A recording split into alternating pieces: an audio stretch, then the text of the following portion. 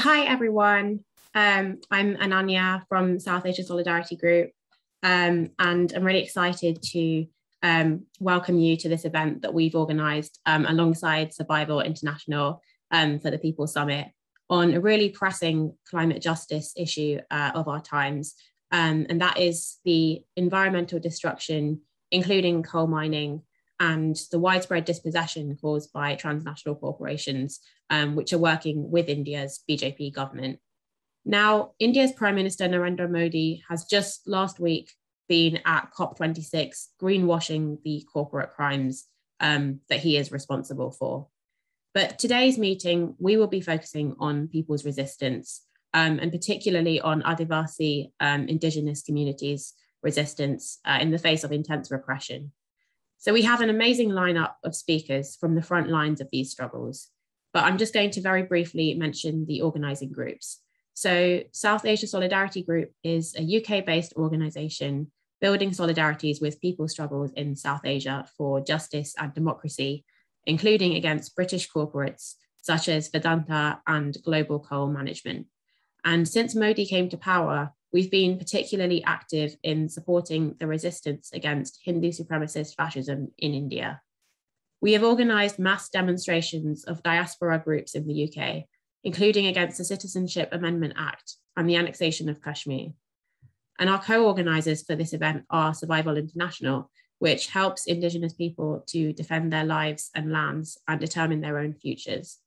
Survival has recent, recently launched a campaign amplifying Adivasi resistance to coal mining and exposing the repression of Adivasi land and rights defenders, including Hidme Markam, an, an Adivasi woman who was incarcerated eight months ago today, in fact.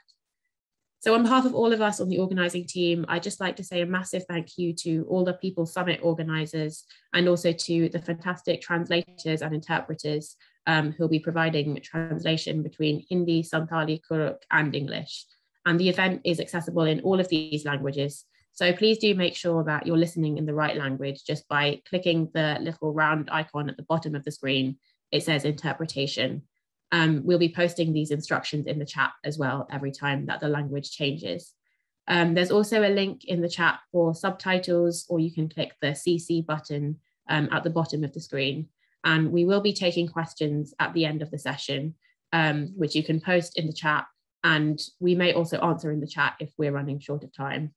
Um, and we're also very excited to have Ruby Hembrom chairing this meeting. So Ruby is an Adivasi cultural documentarian and practitioner. Uh, she is the founder and director of Adivaani um, First Voices, which is an archiving and publishing outfit often by Adivasis. So I'm just going to hand over to Ruby right now. Thank you. Thank you, Ananya. We're delighted to start off our session immediately with Priya Pillai, who has been working on environmental and social justice issues for almost two decades now. She works closely with grassroots movements and non-governmental organizations that focus on energy, climate justice, and forest rights.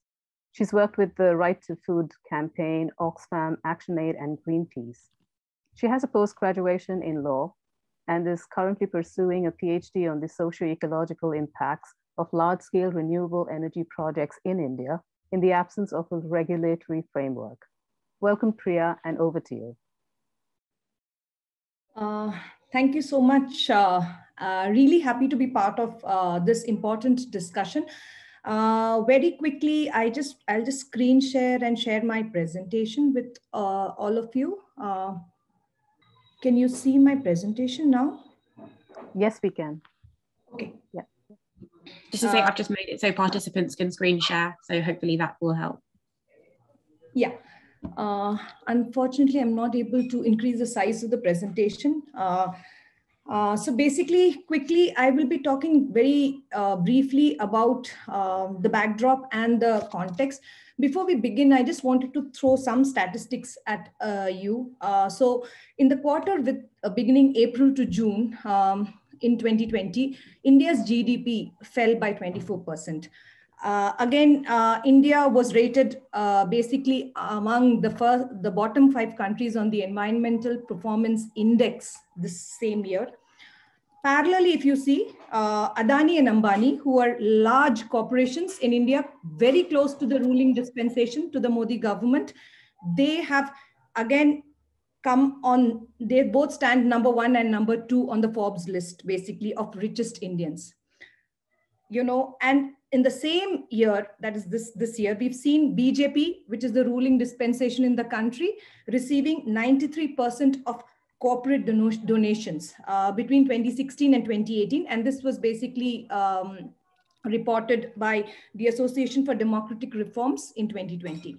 So these are not just statistics. It, it clearly spells out the context in which uh, environmental movements, um, indigenous communities, uh, and Dalits in this country have been fighting for uh, their rights, fighting to save the natural resources of this country, fighting climate change through proxy battles, um, and trying to kind of uh, uh see where they fit into the whole uh, whole uh, scheme of things, whether it's regarding the rights that they hold vis-a-vis -vis their land, um, the, their human rights, which are grossly being violated, somebody uh, initially spoke about uh, the shrinking democratic space in the country, uh, which is which has had a huge impact on you know um, on uh, on not only the rights of the communities, um, the Adivasis and the Dalits of this country, but it has actually uh, led to a very, very strong uh, nexus uh, between the government and the corporations. The, the, communal atmosphere that's been created in this country has actually benefited the government and the corporations of this country. Uh, you know, the government to stay in power using the, the communal card and the corporations to kind of get land, water and forests at throwaway, uh, you know, prices from the government and the impunity to act and to violate rights of uh, communities in this country. So uh, um, when we talk about climate change, the whole debate in this country is um, when you go on the ground, it is not about, uh, you know, the whole Western concept of, uh, you know, uh, environment uh, is not, and climate change does not apply to India. It's basically the debate on the ground is about development versus environment. And what matters to people on the ground is livelihoods, the displacement they face, land alienation, air pollution, water contamination, attacks on their culture and dignity. And you will see that if you look at the movements around the country, um, whether it's been the Niyamgiri movement, the Mahan movement, the POSCO movement, all these movements have sprung up against injustices and and that is core to the climate uh, movement whereas it's it's not really recognized as as battles you know or uh, that, that are being fought by communities to save forest things or you know something that is totally kind of an, a battle to fight climate change uh, this is a very broad map of if you look at this this is india and you see the central indian map uh, I'm showing you this because this is this is where uh, most of the um, apart from of course the northeastern part of the country and the western Ghats region of the country, uh, this is mostly where the there has been a huge overlap of indigenous communities. This is the mineral belt of the uh, of the country. This is also the forested belt. So these five states, that's Jharkhand, Chhattisgarh, Orissa, Maharashtra, Madhya Pradesh, these are the states where you will find this, this overlap of uh, indigenous communities, uh, forests. Uh, this is also where you will find a large number of corporations operating here. Uh, this is incidentally also one of the you know, largest conflicted zones where you will find most of the coal mining conflicts are existent in, in this part of uh, the country also. Uh, the fight here is mostly about you know the, the resource. Uh, the corporations wanting to kind of take control of the resource. There's been multiple uh, battles. The mahan fight uh, where people fought in singrauli district of madhya pradesh to save their forests and their land. The niyamgiri fight which everybody knows about again was a battle to save um, uh, their forests, their uh, dignity, uh, their uh, right over common resources, um, uh, and all of that. Again, though though none of these fights are really categorized as uh, fights to you know save essential you know forest sinks, and in that sense, you know um, fights to save the the rights of communities as well as the fight against climate change because they are seen here the, the whole climate justice angle comes in here because uh, climate is seen in a silo uh, where and the climate change battles are seen in a silo uh, the fights by communities on the ground to save these essential forest sinks, to save natural resources, to save water, to save forests is not seen as a climate battle. And, and uh, as we look at solutions, as we move, you know, and we debate at the COP about uh, net zero, we talk about renewable energy and each country, including India, talks about raising their, uh, you know, um, their renewable energy targets, you know, as opposed to fossil fuel uh, thing, um, investment in fossil fuel. What we are doing is basically moving, you know, uh, investment in from one sector, that is fossil fuel sector, and pushing it into large scale renewables. Uh, and I, I, you know, uh, I'd also like to talk a little bit about, you know, this solution. Is large scale renewable energy any different from fossil fuel? Uh, having engaged with this issue in the last uh, four, five years very closely, one has seen that uh, the large scale renewable energy paradigm in this country is no different actually. I would i, I can kind of with a lot of evidence uh, and a lot of conviction now say that the large scale renewable energy paradigm is no different from the fossil fuel paradigm. And it operates very similarly. The players are largely the same. So for example if you have adani uh, you know if you have people in jharkhand and um, uh, you know, uh, Orissa fighting Adani and Ambani, uh, you know, uh, fossil fuel mines, you know, coal mines. You all, you again have, uh, you know, Adani coming and trying to set up a, a big um, uh, solar plant in um, Tamil Nadu, where you will find land grab. this image is from um, basically from Tamil Nadu, where uh, where again, you know, the, the Indian government keeps talking about, uh, you know, 175 gigawatts of uh, solar, and this is seen as the green solution, the solution to climate change. Uh, but what is happening to the community? What is happening to people's land and resources? Again, you will find that when um, when Adani sets up a solar plant in Tamil Nadu, it in for you know basically taking away 4,000 acres of land, it, it engages in land grab in the same way that it would engage in land grab in a fossil fuel sector. So where is the whole aspect of social justice? Uh, same with water. Uh, we've seen this, this image, if you look at it, uh, this, is, this, is a clearly an image of uh, every household in, in, in Kamudi village in Tamil Nadu where the, so, the Adani solar plant is located. You will find, uh, you know, a similar uh, kind of a thing with you know where women actually carry water you know they go and buy water and um, um, Sorry, uh, Priya. Sorry. Uh, yeah. We have like one minute. Perhaps okay. we can take this in the question and answer round. So just, so, just that. Uh, what I'm trying to drive uh, is basically uh, the fact that you know this, this there is there is a there, there are a lot of challenges faced, but the most important thing is that you know uh, this whole process of decarbonization uh, you know which is increasingly led by the corporations uh, have to be aligned you know with uh, social justice uh, we need to think whether you know the larger environmental groups acknowledge support and integrate social justice fights as a fight that is integral to the broader climate agenda.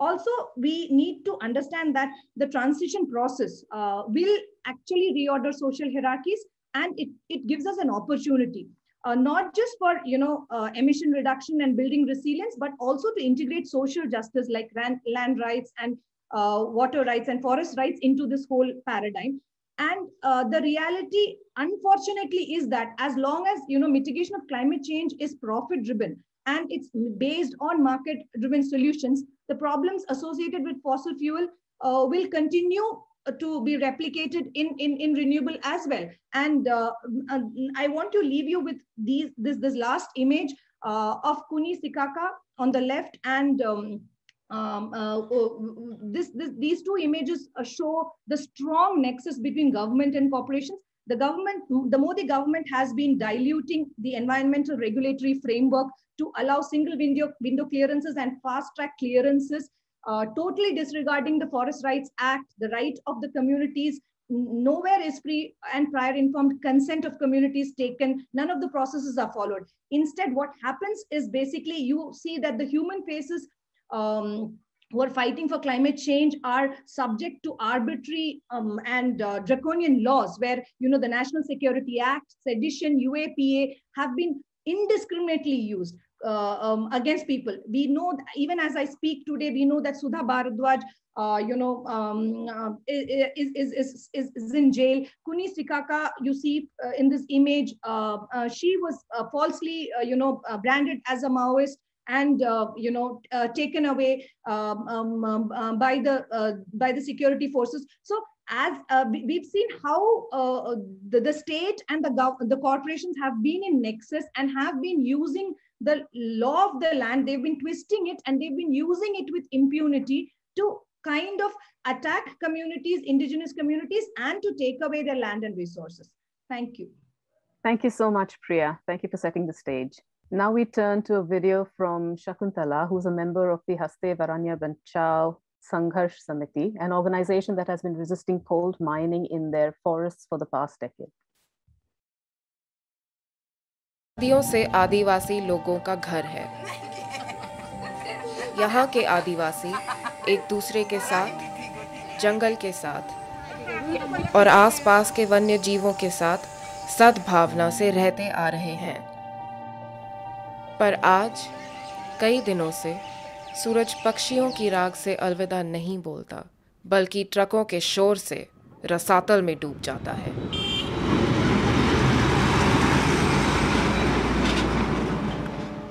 इन लोगों के जंगल, पवित्र स्थानों और उनके जीने के तरीके को नष्ट करने के लिए खनन कंपनियों ने सरकार के साथ हाथ जोड़े हैं। सिर्फ़ इसलिए ताकि निजी कंपनियाँ मुनाफा बनाती रहें। विस्थापन और तबाही। एक विकास जो इन्होंने कभी नहीं मांगा था।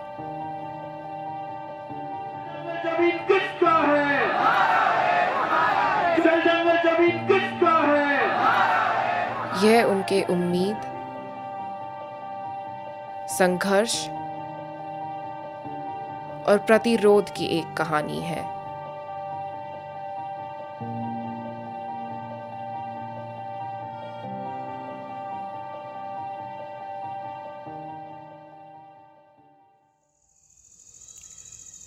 मानव। जितने भी हैं, मनुष्यों को, मनुष्य हैं, मैं उनको यही संदेश देना मैं चाहूँगी कि जो हम लोग जो हंसदों की, जंगल की जो लड़ाई लड़ रहे हैं हम लोग, और बचाना चाह रहे हैं, इसलिए बचाना चाह रहे हैं, क्योंकि ये घने, क्योंकि ये घने जंगल है तो जीवन है और जंगल नहीं रहेगा तो जीवन भी समाप्त हो जाएगी।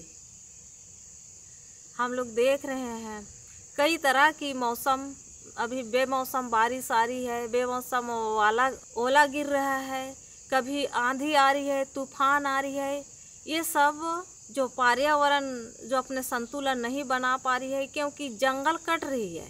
और मैं ये कहना चाहूँगी कि यदि जंगल कटती है तो मानव जीवन के ऊपर बहुत ही बुरा प्रभाव पड़ेगा।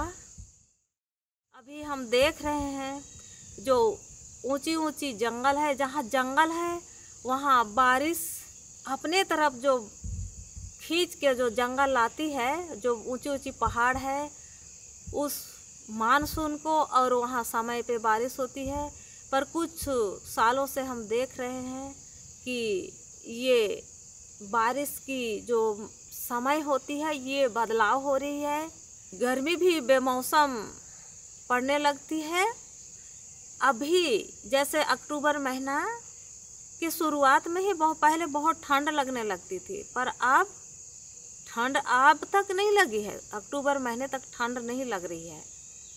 नहीं तो बिना आग जलाए और बिना कम्बल, स्वेटर पहने हम गाँव में भी रह नहीं पाते थे। ये सब पेड़ काटने के बजाय है। तो मैं यही कहना चाहूँगी, जंगल जितने हमें मानव जीवन को ज़रूरत है, उतना ही जंगल को भी बचाना ज़रूरी है। जब जंगल रहेगी, तभी संभव है मानव जीवन का इस पृथ्वी पे रहना। कहीं पावर प्लांट लगा है तो वहाँ से जो पानी, प्रदूषित पानी बहती है और वह उस क्षेत्र, जो जहाँ भी जा रहा है पावर प्लांट का पानी वो नदी में जो रहती है जीव जंतु जो गर्म पानी जाती है, जैसे कोई केमिकल मिला हुआ तो वो जो नदी में जीव जंतु रहती है, वो भी तो समाप्त हो जाती है। अगर पे हम अपने वातावरण जो प्रदूषित हो रहा है, इसके बारे में हमने नहीं सोचा, और हम इनके लिए कुछ कदम नहीं उठाए, जंगल पहाड़ रोकने के लिए तो मानव जीवन कुछ ही दिनों के बाद समाप्त हो जाएगी। क्योंकि खदान के आने से हम जो ग्रामीण क्षेत्र है, जंगल है, ये सब विनाश हो जाएगा। खदान से कुछ भी लाभ नहीं होगा। तो हम जंगल ज़मीन को हम उसके लिए देना नहीं चाहते हैं खदान के लिए। किसी भी हालत में कहे कि जंगल जंगल से ही ये आदिवासियों की जीवन यापन हो रहा है। हर मौसम में कुछ ना कुछ फ़सल मिलती है।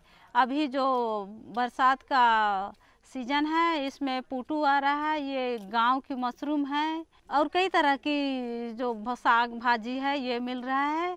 ये जो गाँव के लोगों को खरीदना नहीं पड़ता है सब्ज़ी का और इस जंगल से नाना प्रकार की जड़ी बूटी है।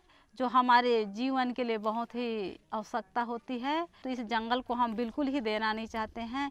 यदि खदान खुलती है तो जंगल में कुछ भी नहीं रहेगा सब उजड़ जाएगा।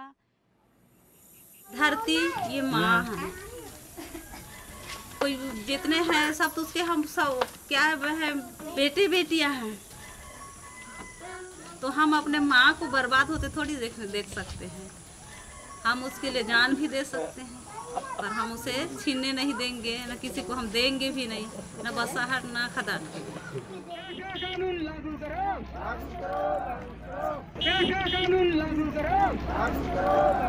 हम खदान का विरोध करते हैं, पहले भी किए थे अब भी करते हैं, भविष्य में भी करते हम किसी के जायदाद, किसी के ज़मीन, किसी भी चीज़ को हम बिना पूछे नहीं ले जाते हैं। अगर ये अदानी बिना ग्राम वासियों की पूरा गाँव की बिना ग्राम सभा की सहमति का अगर ये ज़बरदस्ती लेना चाहेगी तो हम उससे लड़ाई करने के लिए तैयार हैं। हम जो हमारे पास जो भी है हमारे पास बंदूक नहीं है तो क्या हुआ? हमारे पास भी तो हथियार है। ये हमारे पास ग्राम सभा है और ग्राम वालों की बिना अनुमति का ये ज़बरदस्ती करती है। हम लड़ने के लिए उस, उससे तैयार हैं। अंग्रेज़ों से तो हमारी देश आज़ाद हुई। पर गरीबों, आदिवासियों के लिए आज़ादी नहीं है, क्योंकि आदिवासियों के ज़मीन जब चाहे तब सरकार किसी उद्योग के लिए, किसी कोयला खनन के लिए दे दे रही है तो हम आज़ाद नहीं हैं आदिवासी। हम इस गुलामी को हम स्वीकार कभी नहीं करते और हम इस गुलामी के लिए हम जैसा भी हो हम अपना तन मन लगा के हम अपन जीवन भी हम निछावर कर देंगे लेकिन हम इस गुलामी फिर से हम नहीं होने देंगे। अपना जंगल ज़मीन हम देने नहीं चाहेंगे। अगर जंगल ज़मीन हम दे दे देते हैं तो हम फिर से गुलामी हो जाएँगे बेघर बर जाएँगे और आदिवासियों का जो अस्तित्व है वो मिट जाएगी। हमारी पहचान ही नहीं रहेगी। तो हमारे लिए अधिकार कहाँ से रहेगा? तो हम बिल्कुल ही देना नहीं चाहते हैं। हम पूरी तरह से हम इसका विरोध हैं। अगर ये नहीं मानती है तो हम लड़ाई के लिए हम तैयार हैं, चाहे हमारी जान चल जाए या हमारे लिए कुछ भी करना पड़े, पर हम तैयार हैं, पर अपना ज़मीन देने के लिए हम तैयार नहीं हैं मेरी नाम है शकुंतला, मैं खेती गाँव की हूँ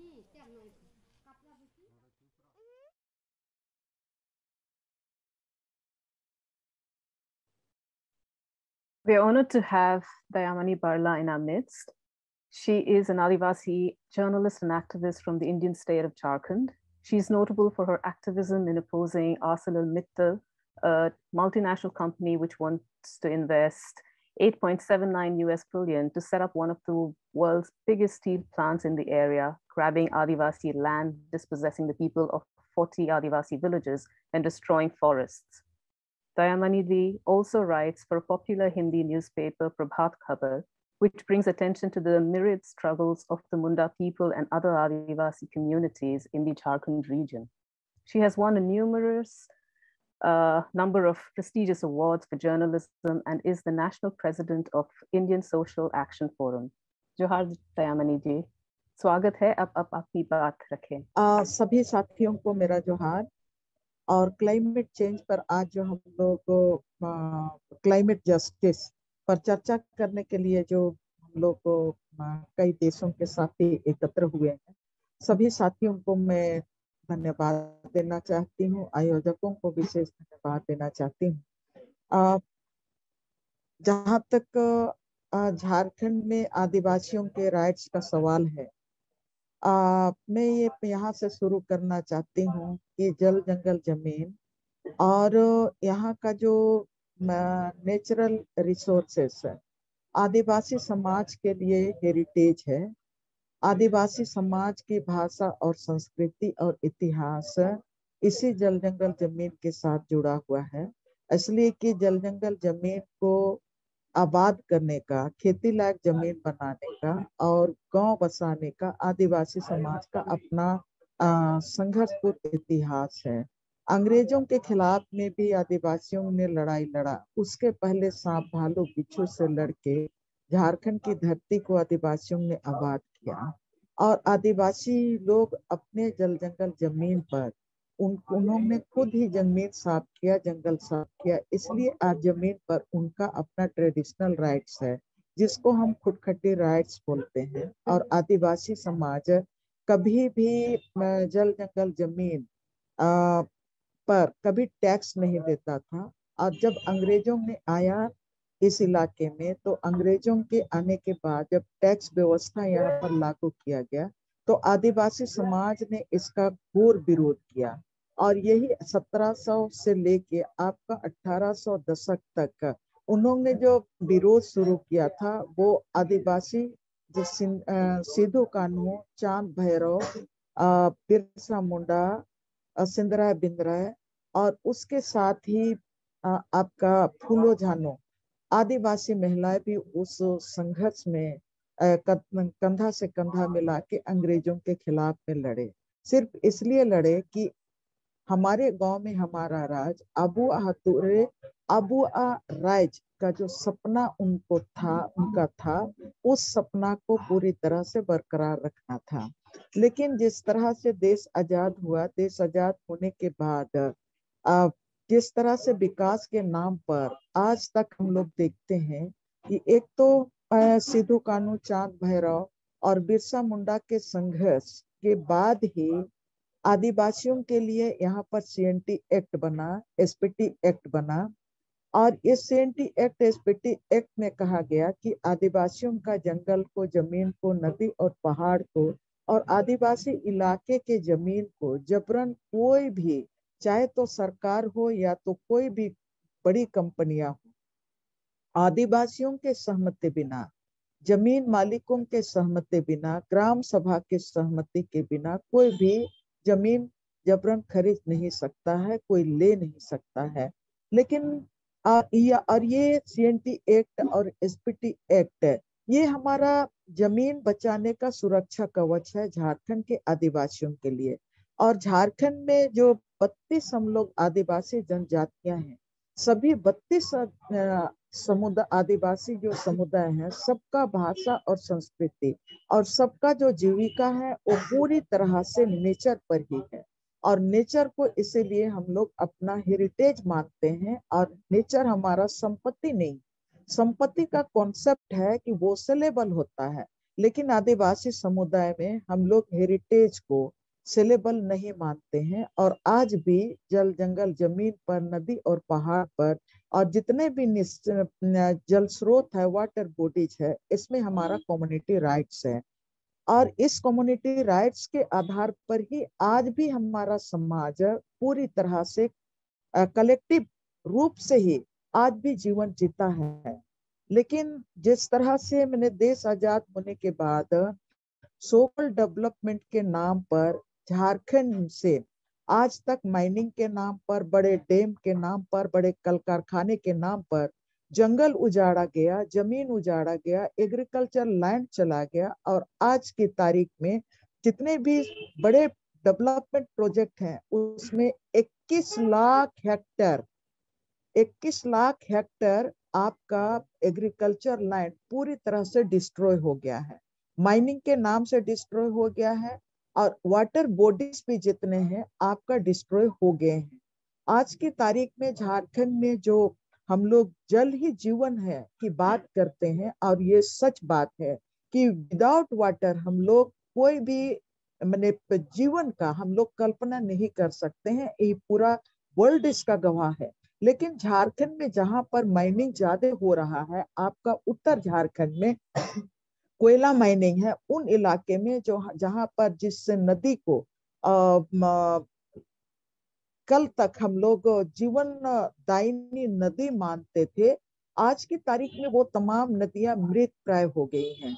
आज वहाँ पूरी तरह से वहाँ का पानी प्रदूषित हो गया है वो इलाका प्रदूषित हो गया है अब उस इलाका के, का जितना भी जंगल है, वो डिस्ट्रॉय हो गया है।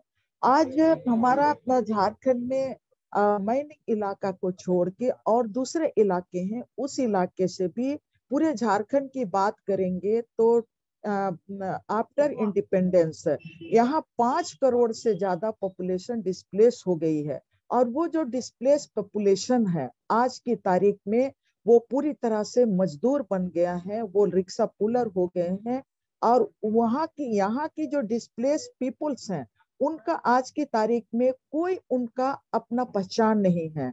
उनका भाषा और संस्कृति अपने आप खत्म हो गया है, इसलिए कि उनका कलेक्टिवनेस जो लाइफ था, वो पूरी तरह खत्म हो गया और उनका जो लाइवलीहुड पूरी तरह से नेचर पर था। और वो पूरी तरह से खत्म हो गया तो आज पूरी जितने भी डिस्प्लेस पीपुल्स है, वो दिल्ली, बॉम्बे, हरियाणा जैसे बड़े बड़े जो महानगर हैं, वहाँ पर वो पूरी तरह से माइग्रेट कर जा रहे हैं। और बाहर की आबादी डेवलपमेंट के नाम से, यहाँ पर जिस तरह से शहरीकरण से भी डेवलपमेंट हो रहा है, और यहाँ के लोग उजड़ रहे हैं और गाँव उजड़ जा रहा है तो बाहर की जो आबादी आ रही है और बाहर की जो आबादी आ रही है, यहाँ की जो आबादी है, आदिवासी आबादी, उसको भी डिस्प्लेस कर रही है।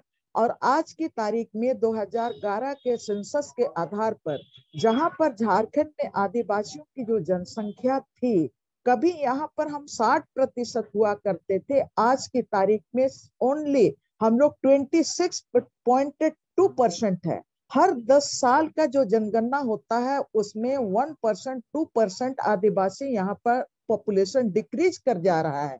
और ये हम लोग सारे लोग जानते हैं कि जो पॉपुलेशन पर ही, भारत का जितना भी चाहे तो हम कहेंगे इस लोकतंत्र में राजनीतिक व्यवस्था एजुकेशन का सिस्टम हेल्थ सिस्टम या तो जितने भी डेवलपमेंटल प्रोजेक्ट जिसमें की हिस्सेदारी की बात होती है डेवलपमेंटल प्रोजेक्ट में आदिवासियों को आरक्षण की बात होती है ये तमाम चीज़ इसी पर निर्भर करता है। लेकिन आज की तारीख में जिस तरह से यहाँ के ट्राइबलों के यहाँ से ज़मीन लुटा जा रहा है ज़मीन जंगल लुटा जा रहा है तो हम पूरी तरह से माइनॉरिटी हो रहे हैं।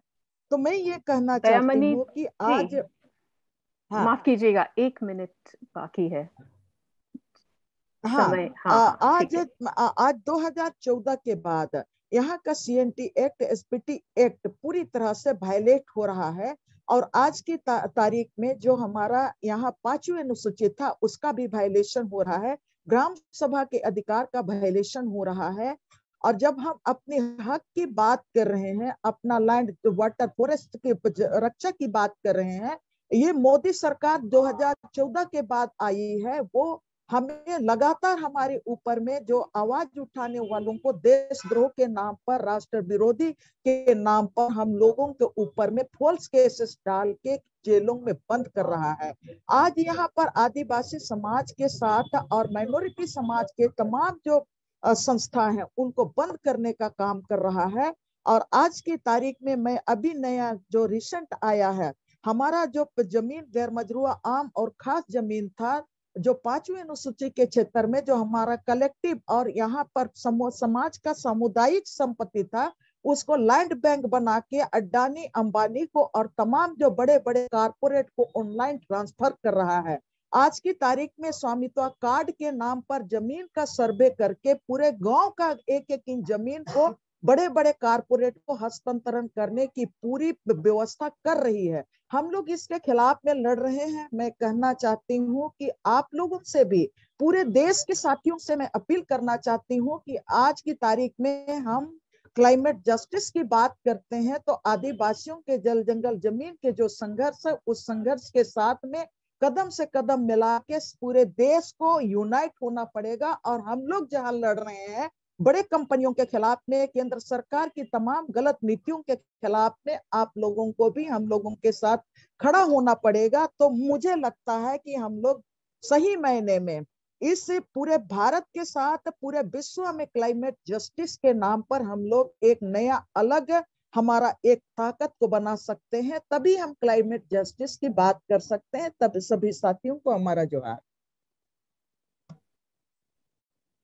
Johar bahut bahut shukriya. Uh, we now have Philip Kujur with us. We have a pre-recorded video from him, even though he is with us live, and he will be able to speak some more during the question and answer round. Philip Kujur is an Adivasi activist who has been working for social and environmental justice with mining affected communities for the last 25 years. Philip has especially focused on coal and bauxite mining issues in Jharkhand, India, to protect community rights over natural resources and to protect Adivasi communities' distinct culture, identity, and livelihood. मेरा नाम Philip Kujur है और मैं आदिवासी हूँ ये जो आप देख रहे हैं पीछे मेरे पीछे में पूरा मगध मगध प्रोजेक्ट चल रहा है कोल माइंस का और बाजू में इधर पूरा खेत है ये पूरा हरा भरा जगह था यहाँ के लोग जो, यहाँ के लोग जो हैं, खेती पर निर्भर था उनकी। अपनी परंपरा, अपना संस्कृति था, एक साथ बैठते उठते थे। आज 2016 के बाद यहाँ का पूरा पूरा जोग्राफी चेंज हो गया। ये बड़े खदान आ कर के यहाँ के लोगों को डिस्प्लेस कर रहे हैं। और कभी पॉल्यूशन नहीं देखा था, यहाँ के लोग को पॉल्यूशन मिल रहा है। सरकार का ये कहना है कि एक एशिया का सबसे बड़ा प्रोजेक्ट है और मैं जहाँ बैठा हूँ, ये मगध प्रोजेक्ट है। और मगध प्रोजेक्ट से हज़ारों लोग का ज़मीन जो ज़मीन ले कर के यहाँ जो नेशनल डेवलपमेंट के नाम पे हम तो हम, हमारे आदिवासी लोग 300 साल से लड़ रहे हैं इसी विकास विकास के विकास के यही मॉडल के खिलाफ। कि आप जो स्टैब्लिश है, जो सभ्यता है, संस्कृति है, उनका जो आपस का सामंजस्य है, जो समाज चलता है, जीवन जीने का तरीका है, उसको ख़त्म करो। सिर्फ़ और सिर्फ़ नेशनल इंटरेस्ट के नाम मूल्य चुका रहा है। एक पूरा समाज का जो ताना बना था, उसका सिस्टम था, प्रकृति के साथ उनका रिश्ता, उनका कल्चर, एक जगह में उनका देवस्थल है मतलब सरना है, उनका कब्रस्थान है। तो सारे चीज़ को जो उनका डिग्निटी है, उनका सम्मान का बात है, उसको सारे चीज़ को ख़त्म करके ये खदान, ये सारे चीज़ एक खदान के लिए सेक्रीफाइस कर रहे हैं। ये सारा चीज़ जो तोड़ करके, ये कॉलोनी बनाने का जो धंधा है, यहाँ बाहर से लोग आकर के अपना कॉलोनी बनाएँगे, यहाँ का कल्चर को उनके द्वारा डोमिनेट किया जाएगा। तो ये जो बहुत बड़ा संकट है, ये देश का डेवलपमेंट के लिए बहुत खतरा है। इसको हम डेवलपमेंट नहीं बोल सकते हैं। डेवलपमेंट के नाम से ये पूरा ये एक तो प्रकृति का बर्बादी है। यहाँ का जो आदिवासी लोग हैं, उनका ज़िंदगी का, जीवन जीने का जो तरीका है, जो प्रकृति के साथ जीते हैं, प्रकृति जिनको जिनको माई बाप है प्रकृति, जंगल से, ज़मीन से जो उनको मिलता है, उनका जो ज़िंदगी चलता है, उसको सारे चीज़ को ख़त्म करके ये खदान के द्वारा लोगों को सुविधा, लोगों का पेट भरना मतलब लोगों का पॉकेट भरना बड़े बड़े अफसर बड़े बड़े मंत्री बड़े बड़े लोग का ये जो न्याय, अन्याय, अन्यायिक मतलब एक तरीके से ये विकास का जो हिस्सेदारी है वो समान विकास का बात नहीं है। और ये जो ये जो सवाल हम जो खड़ा कर रहे हैं, ये महत्वपूर्ण है। जो पूरा जो आदिवासी क्षेत्र है, ख़त्म हो रहा है। आदिवासी लोग का ज़िंदगी जहाँ जल जंगल ज़मीन से चलता था, वो सब सारे चीज़ ख़त्म होने वाले हैं। अब आदिवासी लोग को कहाँ शिफ्ट करके कहाँ बसाओगे? इसका मतलब है कि आदिवासी एक ओवरबर्डन जैसे ओवरबर्डन आप देख रहे हैं ओवरबर्डन की तरह आदिवासी कम्युनिटी है। इनको ख़त्म करो, इसको बर्बाद करो, इनका ज़िंदगी ख़राब करो, ये खुद मर जाएँगे और ये ओवरबर्डन की तरह इसको डंप करके छोड़ दो। अभी जो देश का सरकार है, विकास के नाम पर अलग अलग कंपनियों से और अलग अलग कंपनियों को, विशेषकर अडानी और अंबानी के पॉलिसी पर काम कर रहा है, देश का पार्लियामेंट काम नहीं कर रहा है, और ये जो योजनाएँ चलाई जा रही है, पैंतीस किलो अनाज दे दो, एक पीएम आवास दे दो, और एक मोदी मोदी खाना दे दो मतलब उसको लेटरिन घर बोलते हैं। खाओ, पियो, खाओ, सो और हगो लेटरिन करने जाओ। ये जानवर का काम होता है, और उसका इस्तेमाल, दिमाग का इस्तेमाल नहीं करना है। यहाँ के आदिवासियों को एक मानसिक गुलामी की तरफ़ ये मोदी सरकार की योजना है, पॉलिसी जो लेके जा रही है। इसका मतलब ये है कि आप जो संपत्ति, जो संसाधन आदिवासी क्षेत्र में है, चाहे तो देश का देश का ये सिर्फ़ चतरा का बात नहीं है, देश के अंदर जहाँ भी आदिवासी आदिवासी क्षेत्र है, वहाँ मिनरल्स हैं। वहाँ आदिवासी लोग को कि मानसिक गुलामी, मानसिक गुलाम बनाओ प्रकृति को बचा के रह सकते हैं। प्रकृति को बचाने का मतलब दुनिया के सारे जीव जंतु से लेकर के सारी सभ्यता को बचाने की बात करते हैं, उसका कोई वैल्यू नहीं और ये चाहते हैं कि आदिवासी लोग मर जाए।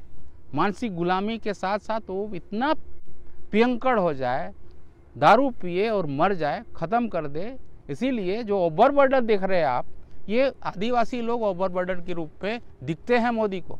दुनिया को अगर ज़िंदगी दे सकता है एक आदिवासी दर्शन, इसको आदिवासी विचार हम बोलते हैं, आदिवासी विचार ही दुनिया को बचा सकता है, एक ही रास्ता है।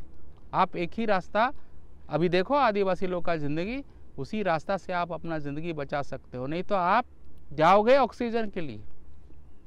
वो ऑक्सीजन बूथ में जाना पड़ेगा। जो प्रकृति है, पेड़ पौधा है, जो आदिवासी लोग का ज़िंदगी का एक हिस्सा है, उसको ख़त्म कर रहे हो एक खदान से, फैक्ट्री से और बड़े बड़े पावर प्लांट लगा करके। ये सब चीज़ आपका ज़िंदगी को ख़त्म कर देगा। और सीधा सा बात है, आप सुधरो, हम तो जाने वाले हैं, आप सुधरो नहीं तो आपको प्रकृति सुधार देगा।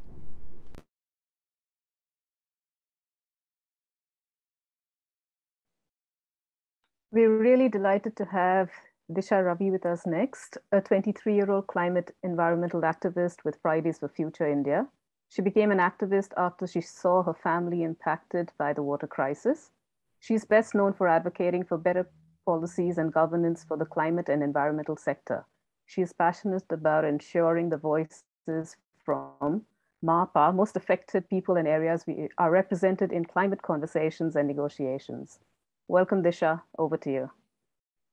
Thank you so much, Ruby. And uh, firstly, I just wanted to say it's such a huge honor to be speaking here among so many people I consider my idols. Uh, so um, thank you so much for having me.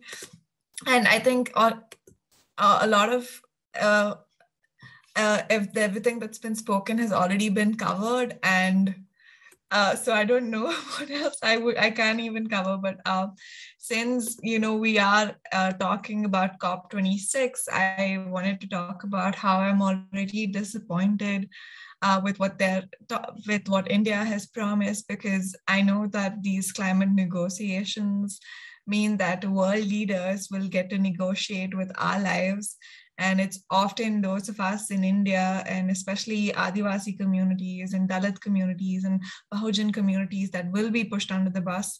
Um, in a recent interview, the Minister of Environment, Bhupendra Yadav, actually said that his message at COP20, COP26 is slogan says, Yada, we want action.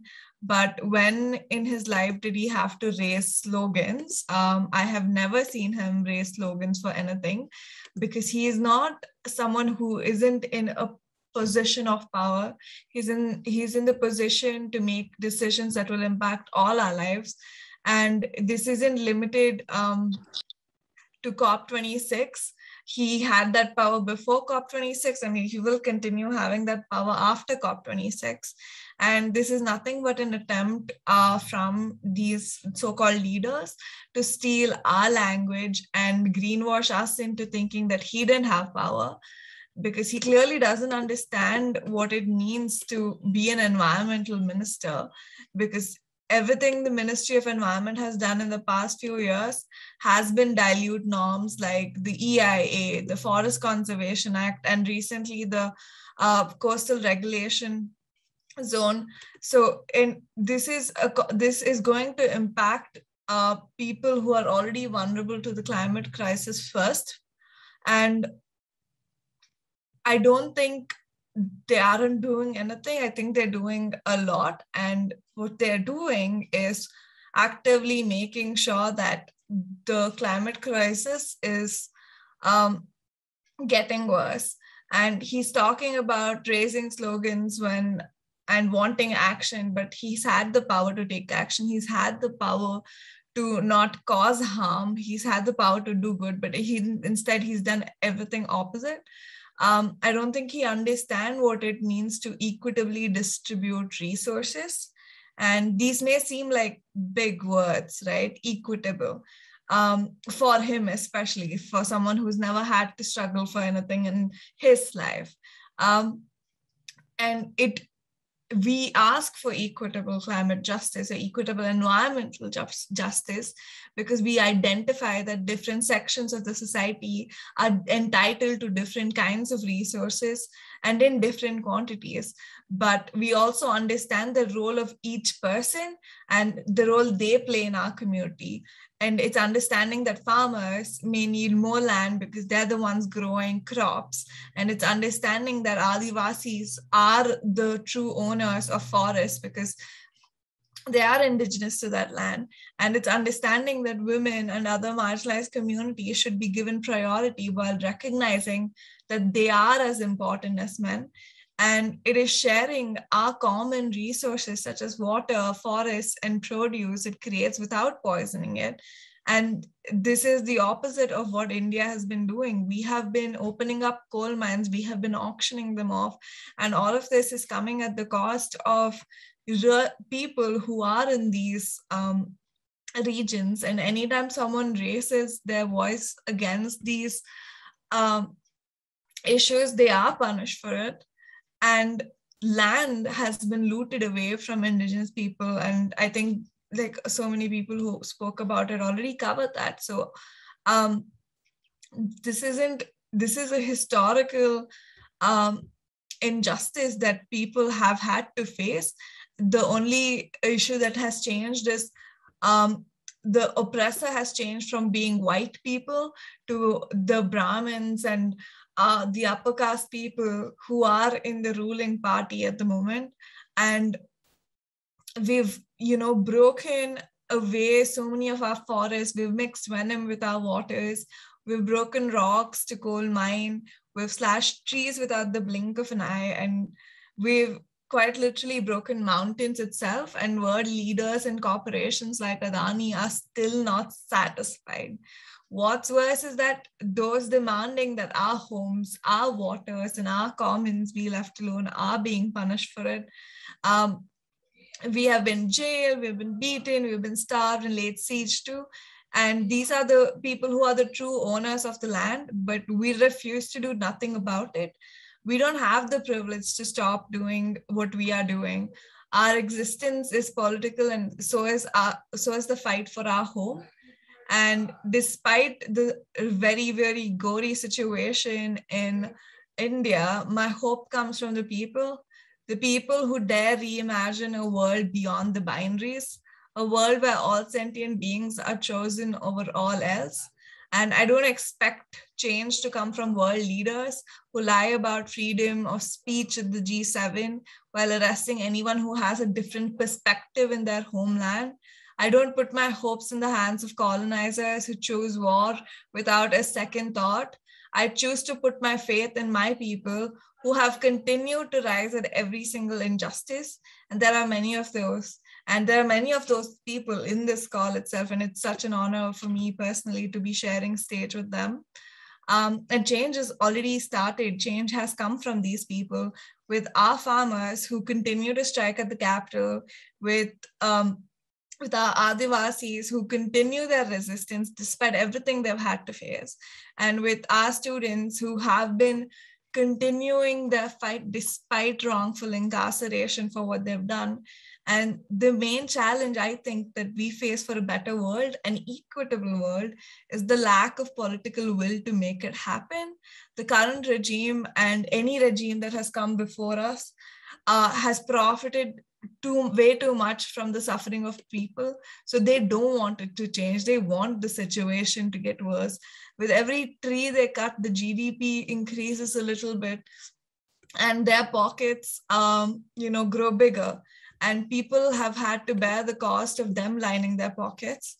But what they need to know that is people are not going to stay silent and we are going to ensure that climate action is taken. And the excessive need for silencing any ideas that is different from theirs will not hold us back.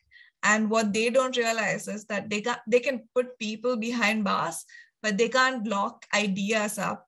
And ideas can never be held back by bricks and iron because ideas are in one person.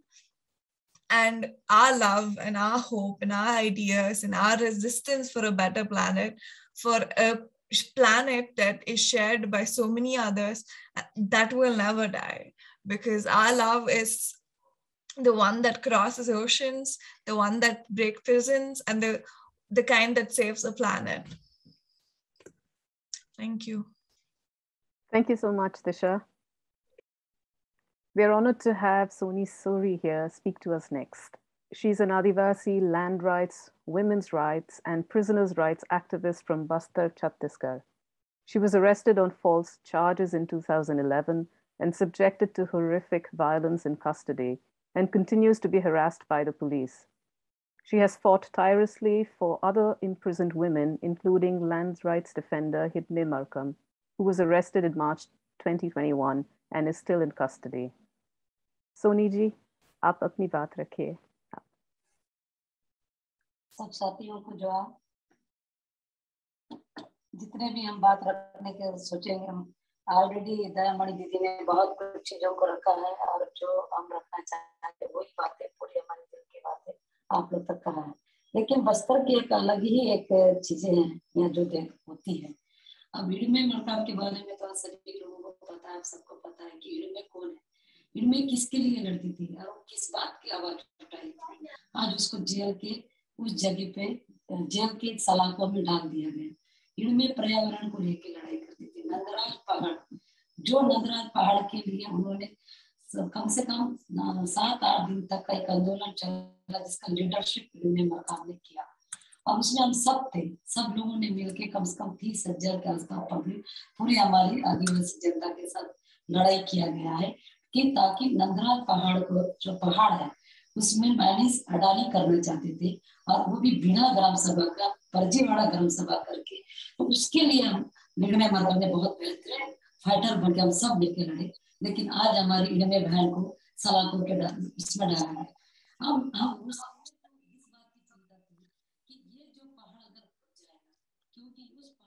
जो पहाड़ है, वो ऐसे जगह में बहुत ऊंचाई पे पहाड़ है। जब मानसून चलता है तो उस मानसून से एक टकराव होती है। उससे पानी का, पानी बरसता है और वो पानी जब बरसता है लाखों लोगों को एक जीवन का धान देता है। और वो एक स्रोत है, उस पहाड़ में पानी निकलने का स्रोत है। वो कहीं खत्म ना हो जाए, उस खत्म होने से कई ज़्यादा हमारे नदियाँ सूख जाएँगी, हमारे जल जंगल ज़मीन सूख जाएँगे। इस तरह से इनमें मरखाम में उस तरह से लड़ने वाली एक हमारी इनमें बहन इनमें साथी है। उसके साथ साथ कई लोग उस पहाड़ के लिए नक्सल के नाम से मार दिया गया गुड्डी फुर्दिया लच्छू ऐसे अनगिनित हमारे आदिवासी साथियों को उन्होंने बस इस बात को कहा कि नहीं हमारे जंगलों को मत काटो हमारे पेड़ों को मत काटो हमारे पहाड़ों को मत खोदो इस बात की लड़ाई की Uh, excuse me, uh, we have an issue with the English translation. Um, are you able to speak more slowly, please? Um, and we'll just give it one second and get set up. धीरे बोलो मतलब हाँ बोलो हाँ तो इस तरह से चीजों के लिए लड़ाई करते हैं आज यहाँ बस This is the reason why we are fighting and protesting about that. Why are they putting poor people into the jails and prisons? For the only reason so that they can mine and use these big, big companies. We are saying, we are raising our voices, please let us protect our mountains, our hills and our rivers.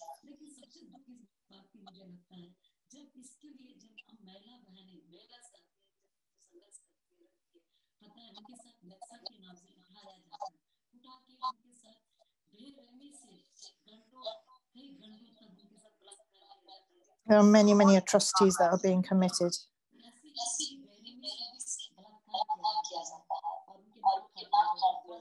Somebody's nose has been cut off or their ears have been cut off, and this is the kind of violence we are experiencing.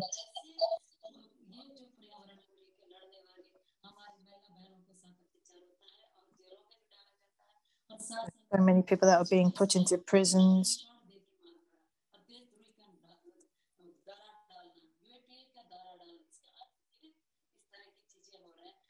These are the type of things that are happening. We are Adivasis and we are joining in unison against big companies.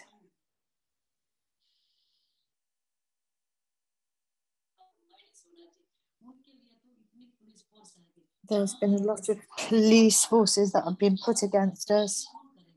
We are Adivasis. We unite and fight against these just injustices. These are our rights, our way of life.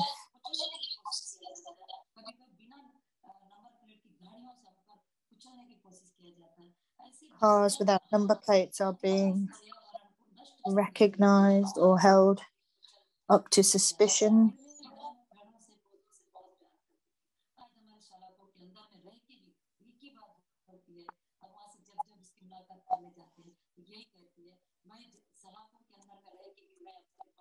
I've been in a prison cell. I've been in Hungary. I've fought against these injustices. I've not been afraid of going to prison.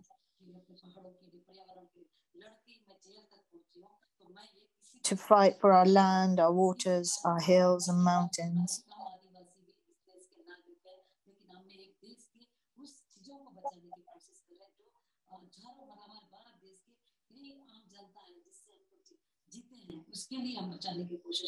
We must protect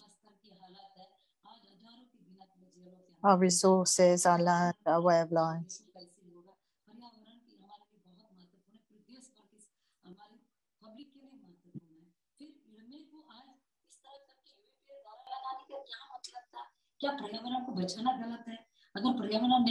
Is it wrong to protect our lands and our waters and our way of life?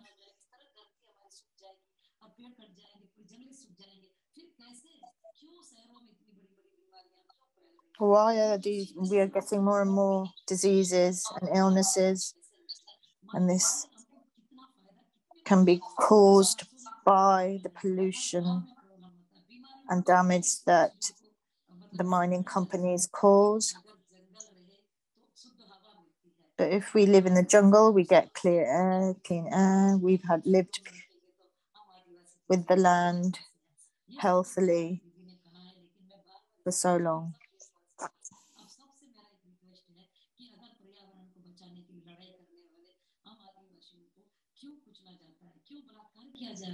Why are we being put into prison? Why are we being targeted? Why are we being shot at? Is that a, a negative point in us that this is being done? One,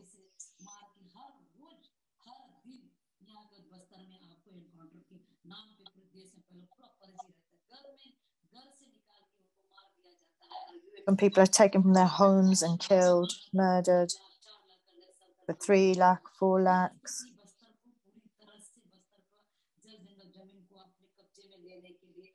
In order to get our water, land, property into our own hands.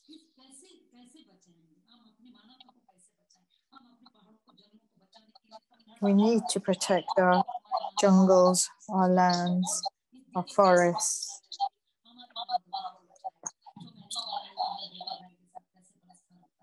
Who will protect us?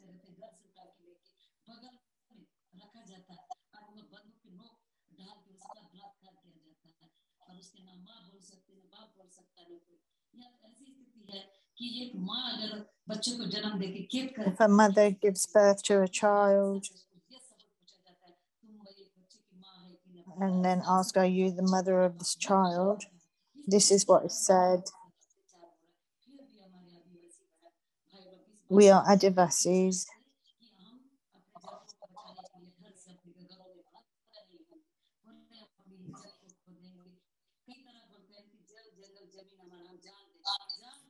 We will give our lives for our land, jungles, and property.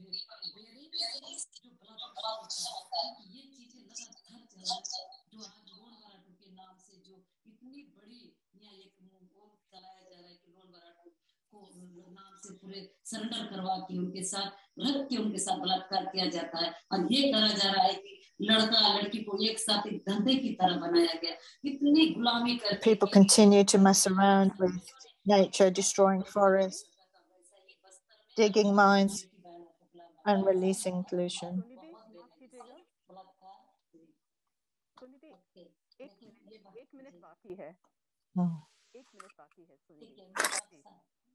Hmm.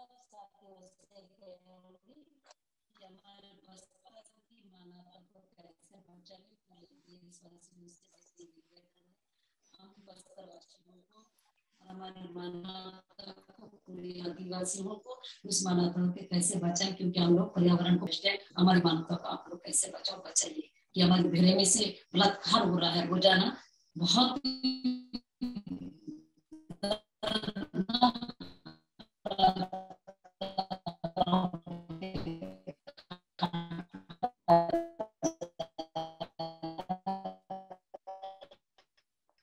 Apologies, we're just losing some um, internet connection here. Uh, Ruby, get back in.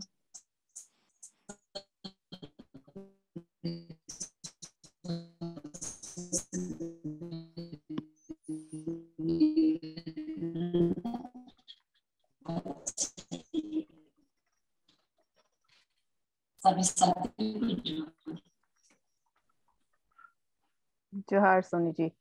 Uh, apologies for the internet connectivity. We now move on to our last speaker, Keval Bharadia. Keval is a member of the South Asia Solidarity Group, an anti-imperialist, anti-racist organization based in the UK. He is an activist and political economist.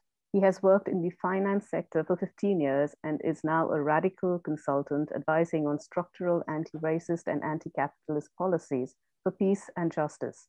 His recent work includes the development of transformative reparations policies for slavery, colonialism, and continued imperialism. Welcome, Keval. The time is yours. Um, thank you to everyone attending today and uh, all the technical staff and interpreters. Um, and thank you to our strong and inspiring speakers. It is an honor to share this panel with people who have fought against the full power of India's authoritarian fascist military state, a state that does so much to kill its people for corporate profits.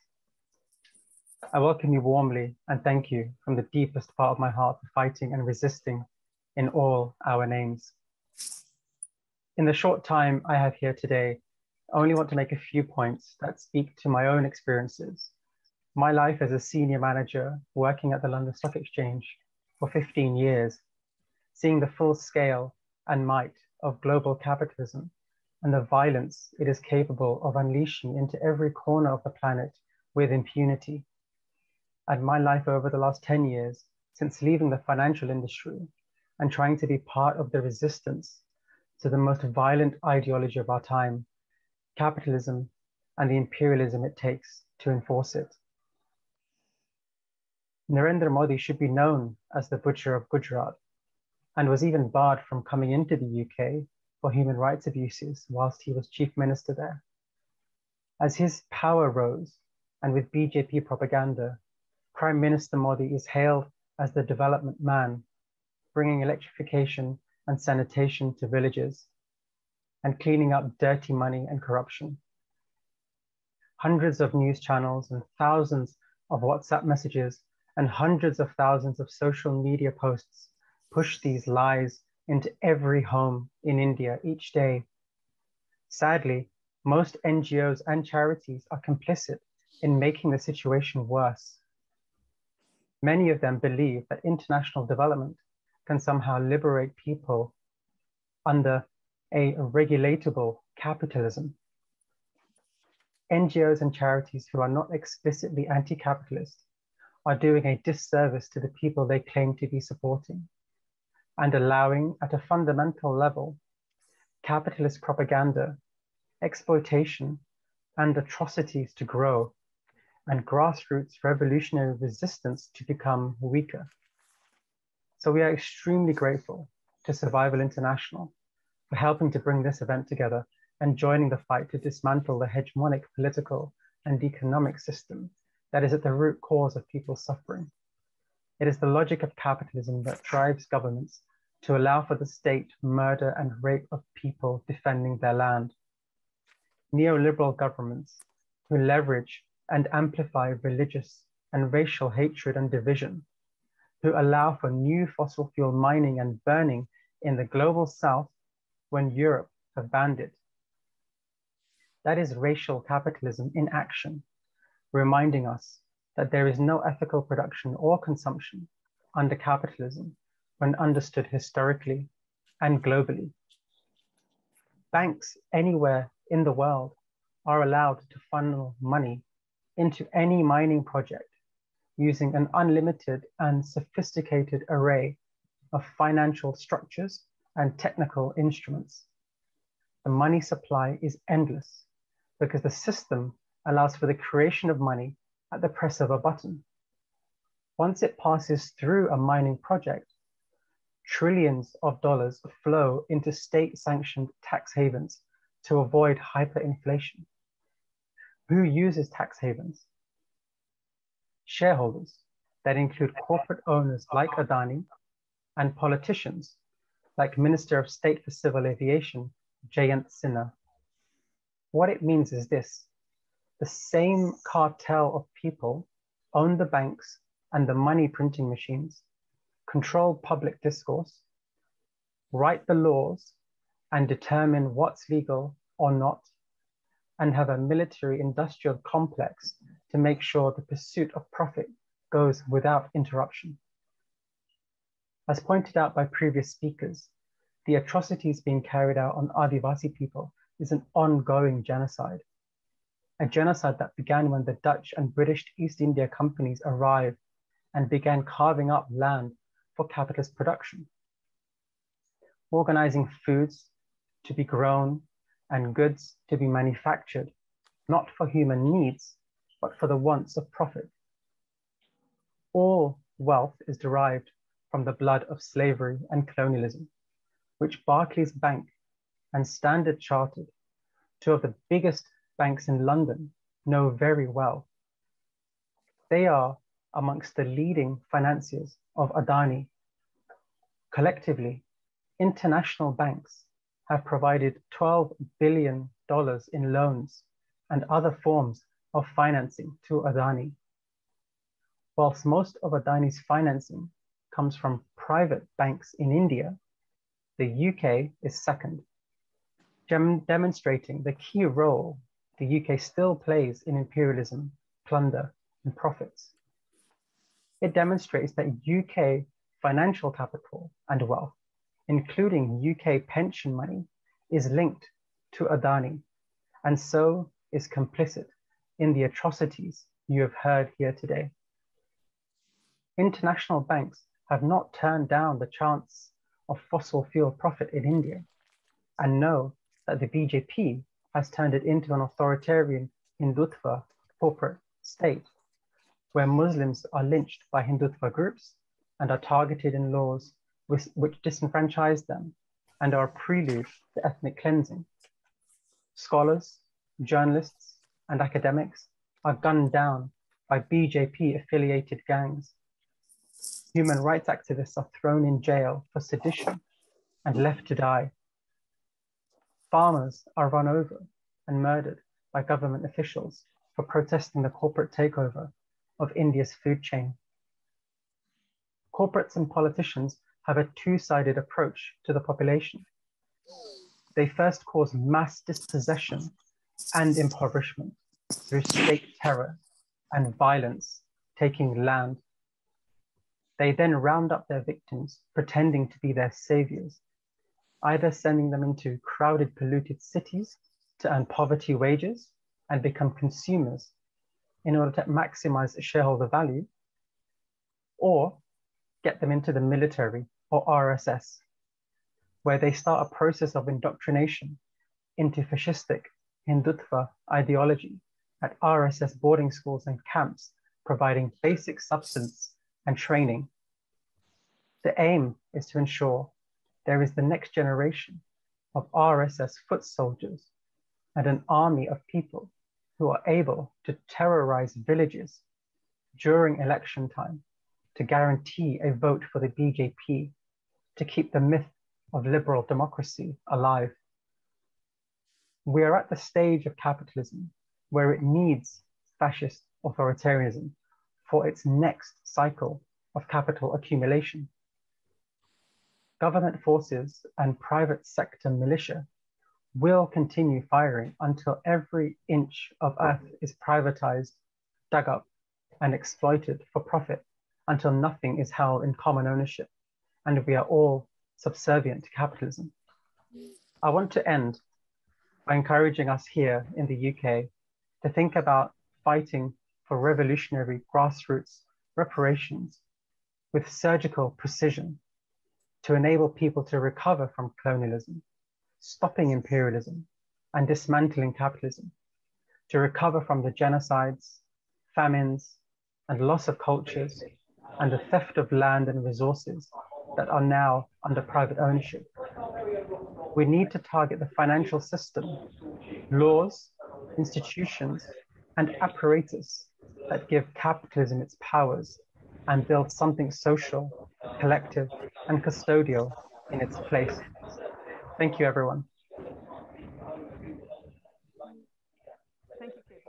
Thank you very much to all our panelists. Those questions to be directed to our speakers. कि दुनिया में जो आदिवासी संघर्ष है तो उस दुनिया के लोग इसको इसमें जुड़ने के लिए क्या कर सकते हैं आ, ये आज के लिए बहुत महत्वपूर्ण सवाल हमने किया था और जिसको आप लोग भी मतलब इसको फिर से सवाल कर रहे हैं एक तो आज, तो आज के तारीख जो हम कहते हैं कि ग्लोबल या तो digital India We have a global and digital world at the moment. And we need to get the Adivasi people involved in this, into the digital world. We need to be able to use social media and work with the digital world. However many movements are happening in the world,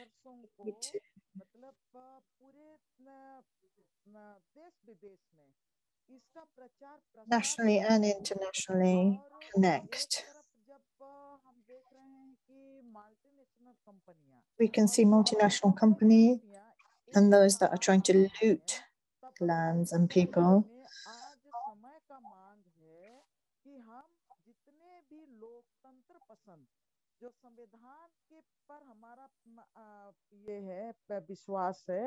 However many people we have or how many people we can trust in, we need to make the people's movement more stronger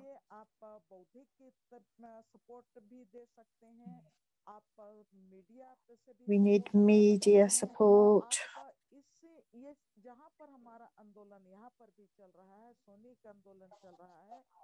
Wherever we are, we need the entire of India, the entirety of India. We need a global. A, a, we need a platform. We need to take this to a platform where we can be supported and be united.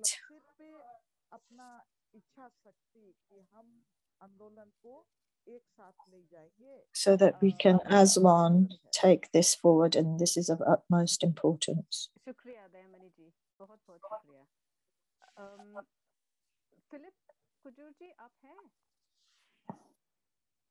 Acha, koi baat nahi. Ananya, can we take the next question? Hello O Philip ji आ, आ, क्या मैं जोड़ सकता हूँ जी जी May I join the chat?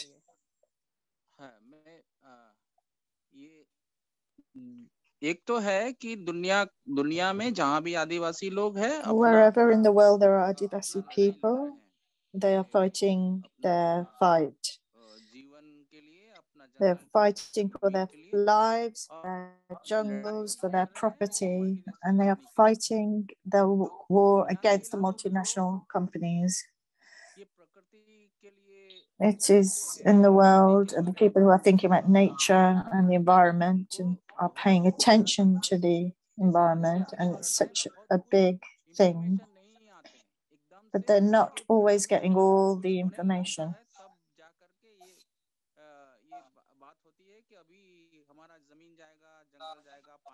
They worry about their water, their land, their property, their water, and their homes. But whatever information or policies that they can intervene in, whatever is happening grassroots, you need to know what the strategies are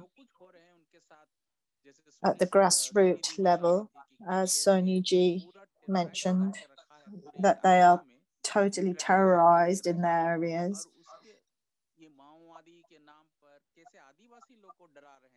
And how they are frightening, scaring the Adivasi people what is happening on the ground. And this information should go right to the top and where the policy holders and makers are. Whatever, yeah, whatever information they get should come from the grassroots. And that is a special relationship. And we need um, support to build that relationship. So the voices are heard up above.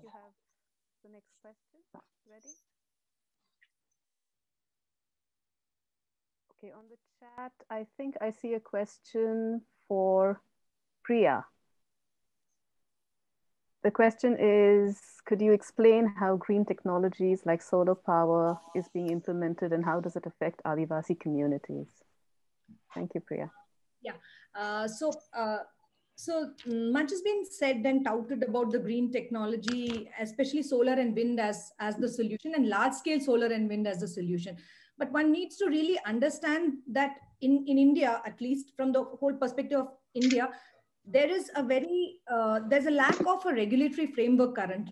Everything that is green, you know, which is solar and wind, is it, it gets single window clearances. Everything is welcome. Whereas we don't look at the socio-ecological impacts of these large scale green technologies basically uh, solar for example is an in it's a it's a land intensive thing. So if you want to set up a solar plant it, re, it it requires that you have huge tracts of land taken away from communities from adivasis from dalits to set up the solar plant in itself. So if you look at uh, a solar plant in karnataka which has 13000 acres of land has been taken on lease from communities you know and that was farmland.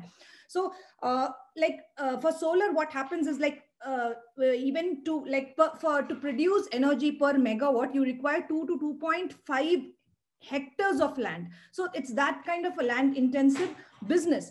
And you have these big large scale groups like adani coming in and engaging in land grab. Uh, I, I showed you a slide in which uh, you know in in, Tirum, in in in tirumani basically you saw how in tamil nadu uh, Adani has has really gone out and grabbed land. Uh, uh, basically, what Adani has done is basically it, it, it fooled people to sign on on documents. People thought they were you know basically leasing out their land for 10,000 rupees. But what was actually happening was basically people who were who couldn't read and write communities they were basically signing on to a um, power of attorney. Adani basically or agents of Adani uh, solar power basically used these power of attorneys to transfer land in the name of a bogus company in Surat.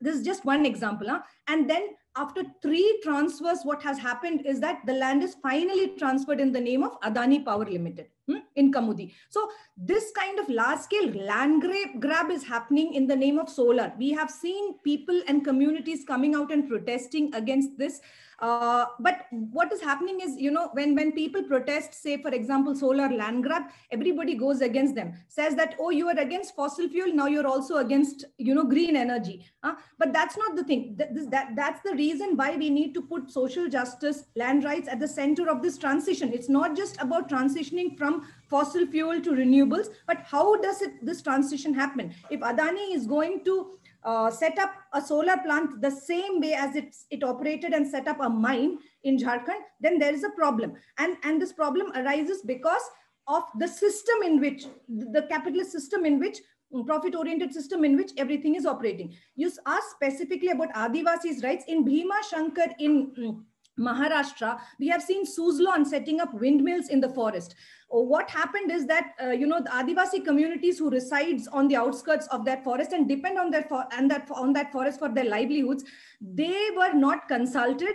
They their uh, and uh, and this whole Suzlon basically set up windmills there. After setting up windmills, they built roads there and they also built a boundary wall which prevented communities from going into the forest and you know collecting firewood uh, you know, collecting non-timber forest produce. So, and if you look, when we went into those villages and we started talking to the community, we realized that the Forest Rights Act was not implemented at all in that region. So there are these violations, particularly in wind, you will find that Forest Rights Act is violated, communities' rights over forest, because wind mills usually come on hillocks and, you know, uh, forest lands. Priya, uh, I'm sorry, we're running out of time. If you can yeah. just have your last words in here. There is land grab mostly that's been seen. Thank you so much. I'm so sorry for cutting you short. We've run out of time practically, but the conversation still continues and there are many platforms on which this is actually going to continue and it's all there in the chat.